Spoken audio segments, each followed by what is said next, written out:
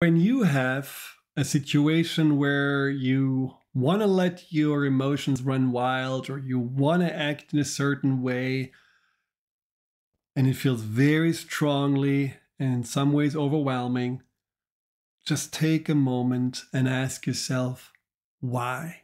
Why do I want to do that? Is it because I feel I need to show people how hurt I am so that they actually stop hurting me.